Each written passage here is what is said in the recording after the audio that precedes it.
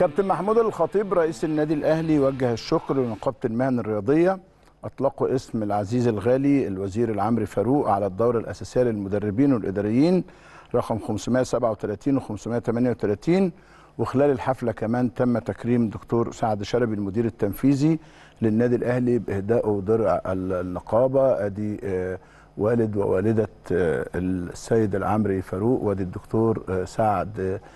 شلبي رموز الأهلي الرائعة العظيمة وادي السيدة الفاضلة حرم السيد العمري آه، فاروق آه، وادي المتخرجين. يعني آه، بنشكرك شكرا جزيلا دكتور فتحي نادي فت- فتحي ندى نقيب المهن الرياضية. هي من الشخصيات ال- المحترمة وطبعا كان اللي في الصورة ده السيد خالد العمري شقيق الراحل العمري فاروق. ودايما آه، يربي كده القيم والاصاله تعالوا